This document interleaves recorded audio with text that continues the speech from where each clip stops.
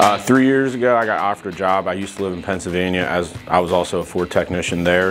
Um, Chastang's made me a great offer and uh, my family and I moved down here three years ago and we haven't been happier since. If you're looking for a job in the automotive industry, especially commercial, uh, Chastang would be the place to go. It's a bunch of learning experiences, um, multiple open opportunities, and all in all, it's just a great place to work for. Uh, Chastang's a really friendly dealership, um, fun place to work at, good people to work at with. Um, Everybody in the dealer from parts to service to sales, all a bunch of great people.